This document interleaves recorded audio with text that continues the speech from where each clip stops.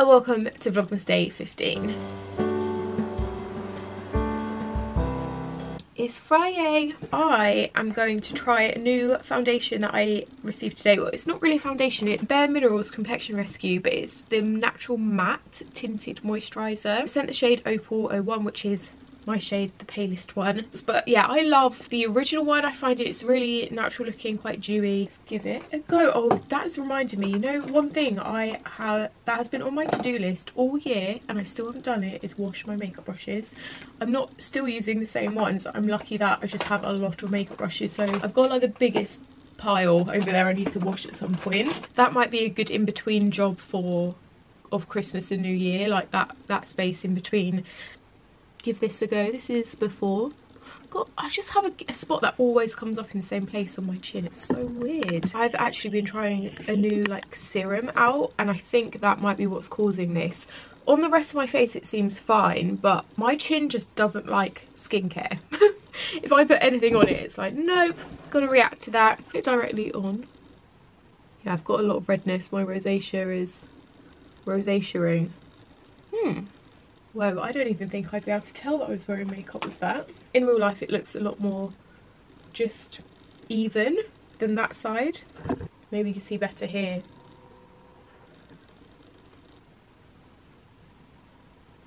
Hmm, I quite like that. It's very, very sheer. So if you want fuller coverage, this might not be for you but actually saying that if I was to go over this with my Bare Minerals powder foundation it would give way more coverage. For a powder this is such nice coverage and such a nice texture. Like it feels really light on the skin but gives so, like the proper airbrushes it. Before after. I like that. I like how natural it's looking. I'm going to do the other side now. I'm watching Lucy Moon's vlog whilst I do my makeup today finished makeup look. What am I doing? I'm going to put some dry shampoo in then I'm going to make another cup of tea and then you know what I think I need to do? I need to wrap some prezzies because we are going for lunch tomorrow with my friend and her family and I got a little present for her son and I'm going to show you what I got them. Also and I need to wrap another prezzie for my other friends son as well. So yeah, I'm gonna wrap some prezzies and then I can carry on with work. I need to edit yesterday's video. Isn't that right, Mulwee? You were such a handsome boy. Oh my god, guys, the worst thing happened yesterday. I did something yesterday and I, I feel so awful about it.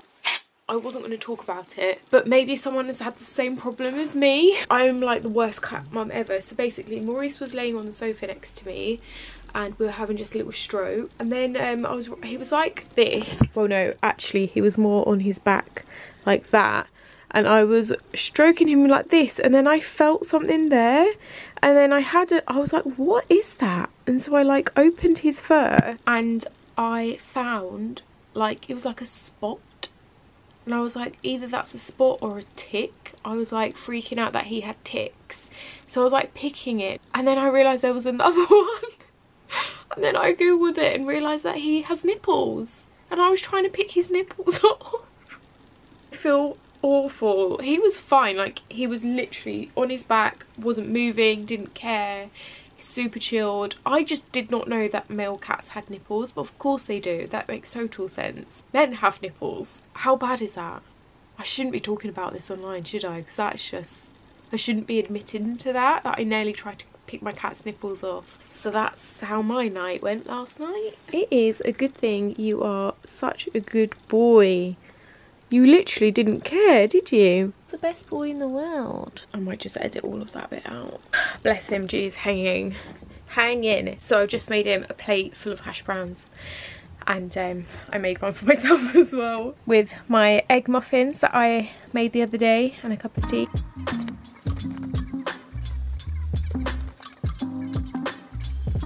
Okay, so for my friend's baby, I got him this is just the cutest thing ever. It's a little sensory book from the brand Jellycat. I freaking love the brand Jellycat. I think it's the cutest thing. And it's a little book about being an avocado. And this might be slightly too young for him, but I feel like she's going to appreciate it because she loves avocados.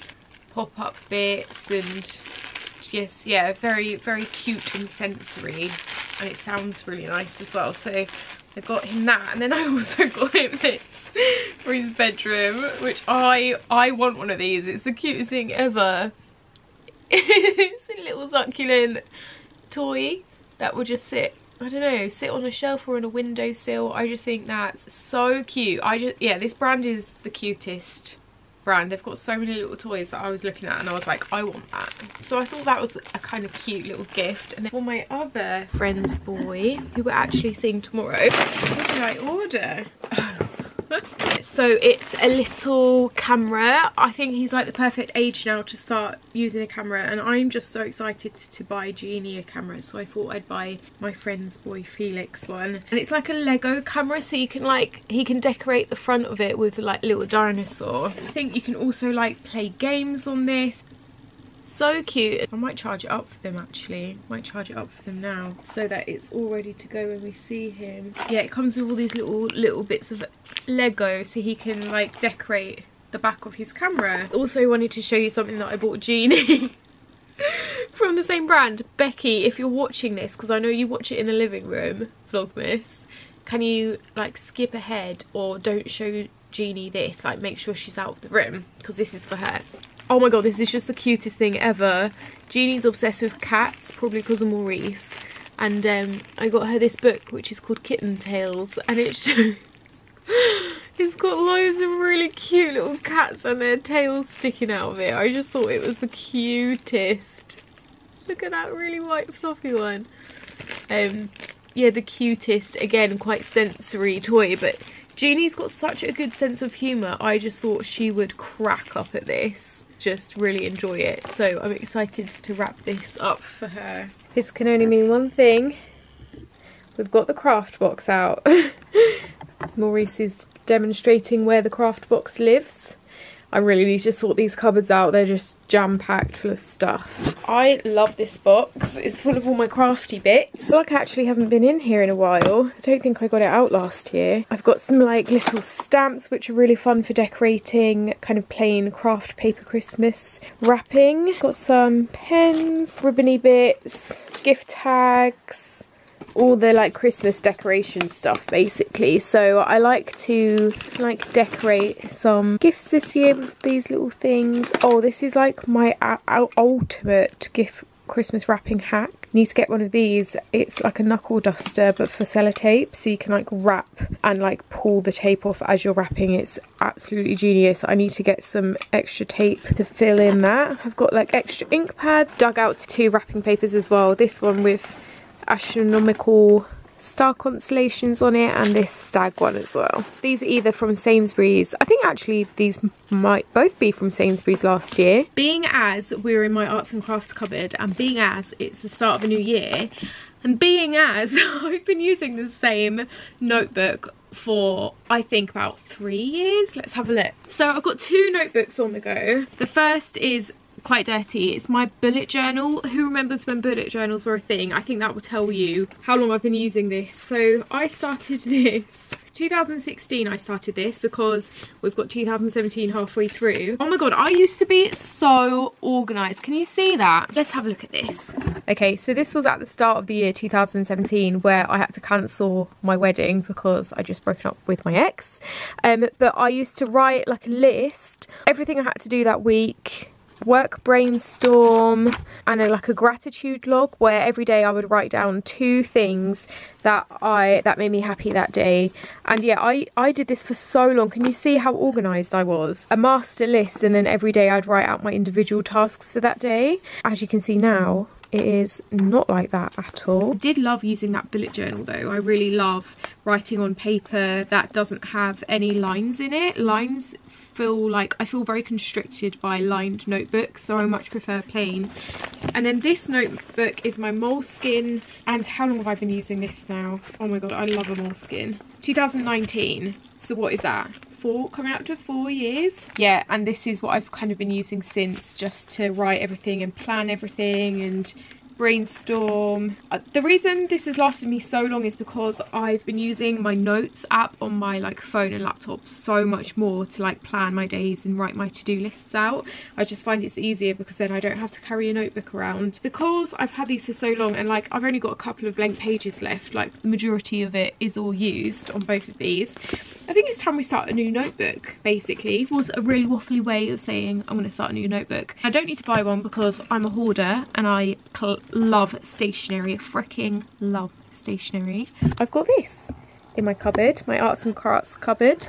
And this is full of notebooks that I love but I haven't used yet. So yeah, I feel like I can shop my own notebook selection. I've already got this one, which is a Moleskine. It's dotted like the bullet journal. I'm not really a fan of a hardback notebook. I much prefer like a, a bendy one um because um, it's easier to carry around. So I might, I could start that one. What else have we got? I can't even remember. It's been so long. I'm pretty sure this one is actually from uni. London College of Communication, they had like an uh, stationery store and I stocked up on books before I left just because they were such great value in there and it's got my uni on it. What else have we got that I could use? Oh my god, I love these so much. I really love getting journals and like notebooks from HomeSense or like TK Maxx. They always have such a great selection. So I think this is one from there. It's lined though. But like when am I ever going to get around to using all of these? I want, I want to use all these. So maybe 2024 will be a year where I start I start writing physically again. This one's so cool because the paper changes colour. Muji, another brand I absolutely love for stationery. Beautiful stationery, beautiful pens. Muji pens are best. Oh my god, and then this one from Paperchase. This was like my diary for so long. I think I purchased a couple of backups because I love the feel of it so much, like bendy paper with the little string on it, which makes it just feel so sophisticated. I've got a couple of happiness planners as well, but I don't really tend to use these. I really like the idea of these because it like helps you plan and like look back and think about the changes you want to make. And then every day it's like today I'm excited about this. What exercise am I going to do? What's my main focus? What am I going to eat? Good things about today notes what I'm grateful for. So it kind of oh god can you even see me? It's a nice way to kind of plan your day but also think about the happiness and the little things that make you happy in there I've got a stress less one. Oh wow this is kind of cool. Mood tracker in it. I don't know if you can see that. So you can like track your mood. Weekly reflection page. How did you feel this week? Why is that? What can you do to improve your mood? I've got a lot of beautiful notebooks. So yeah i'm gonna keep one of these out. Can you tell i'm obsessed with maps? Literally.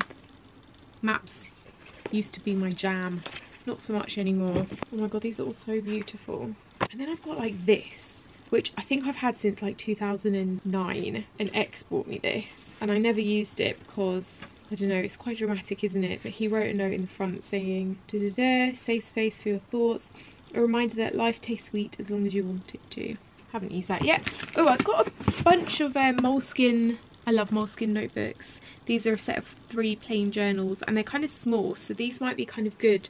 I could have one for like video ideas, one for meal planning, meal prep. Sitting on the floor and doing bending over wrapping and bending over notebooks has done my back in again so I think I'm gonna have to go down and sit on a actual work chair now. Also just a note on Smythson notebooks I have a Smythson one. Um, when I left my job at Gleam, they bought me the most beautiful Smythson notebook.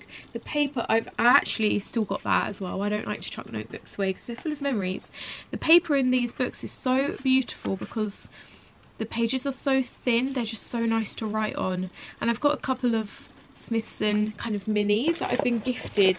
One that says sunny side up. I think this was a gift from Juliet Has a Gun. And one, I'm not sure where this one's from actually, but it says make it happen on it. Again, this is a really lovely gift. Like, it's making me wish that I bought all my friends stationery for Christmas this year. Who doesn't love stationery? Okay, one last thing. I've just found this one and again another Moleskine. This was my headache diary. When I had a headache every single day I was told to keep a headache diary.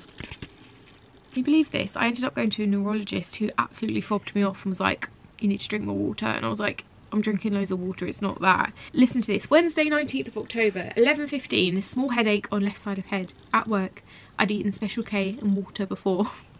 1.20pm, headache getting worse, more prominent, frequent poundings, 8 out of 10. Lunch, I had sandwich, crisps and water. 10.30pm, still have a headache, comes and goes in waves, haven't taken any paracetamol, had one cup of tea at 5pm. Thursday 20th, headache all day, didn't take pills. Saturday 21st, headache started at 11pm, had one decaf tea at 7pm and McDonald's for dinner because I cooked a 9 hour shift. Sunday 22nd, at work, 12 to 4, got a headache at 11pm, pressure behind my eyes. Literally, I had a headache every day. This notebook, this, this goes on for a long time. All these headaches, and this man just fobbed me off. And summary so far for six months. October, 11 headaches. November, 13 headaches. December, 7 headaches. January, 3 headaches. So they started just going down naturally. I'm not sure what that was about but um very interesting to look back at oh my god also in this when my friends came over i vlogged this you can watch this back i'll leave a link up here my friends came around to help me declutter my wardrobe and we wrote a list of everything i had and then what we were going to cut it down to so i had I had five white lacy tops, I had to get it down to three. 17 skirts, I got it down to five. Blue jeans, I had seven, I got it down to three. 11 plain black t-shirts, I got it down to four. Like they helped me declutter my entire wardrobe and I ended up getting rid of like three quarters of my wardrobe. It was such a fun day. Day dresses, I had 32 and I got it down to eight. Coloured tops, I had 21 and I got it down to five. I had 39 jumpers and I got it down to eight. They really helped. This is why I like keeping notebooks because they're quite funny to look back on. I also found um, my old like teenage diaries recently which whenever I read back I start to feel really depressed so I don't like to do it too often but it just brings up back so many memories of that time when I was like a teenage girl and, and just not living my best life. Um, I do want to do a video at some point where I read some of my old diary out because um, I thought it might be entertaining and quite quite funny but also might bring up some topics about consent and confidence and friendships um, that might be quite interesting to chat about. So when we were in Paris, I went to, I did that day where I just went to loads of charity shops, or like, no, I keep saying charity shops, they're not, they're like thrift stores, like vintage stores. And I still haven't shown you guys what I purchased because all of it needed wash, like really badly, and some of the materials I wasn't like I've been hesitant to put in the washing machine so I haven't been able to wear anything. Um I need to really just send stuff off to the dry cleaner. Maurice. But I did a delicates wash last night and put this jumper into it. Um and this is one of the things that I got. So I actually shouldn't have because I literally just looked at the label and it says dry clean only professional dry clean only but it seemed to have survived. It's like 80% wool quite a garish but so comfortable um cute little like frumpy cardigan with this embroidered floral pattern. Has these really cool buttons down it. Yeah i was so happy with this purchase. I think i paid like five euros for it which is quite good value i think. So yeah very happy with that purchase. Gonna do me well this winter i think trying to work out how I can go to the shop but without taking my wearable blanket off and it's it's not working. Tuck it up and then like roll but then I just looks a bit weird. Whoa, all the lights off from the tree are looking quite fancy. Right, I'm just going to try and tuck it in my trousers, but my trousers are quite tight around the waistband. so there's not much, there's not much stretch. That'll have to do. I've eaten so many butter beans, cannellini beans, beans this week that I am so bloated. I'm, I'm in so much pain right now. Oh. And I'm also wondering if I've got some sort of kidney infection because I've got such a bad lower back ache and it doesn't feel like a muscular one, it feels like a stitch, but constant. It's so painful. I bet you get 20 different diagnoses yeah. You're going to think I'm a hypochondriac. Whoa! Wowza.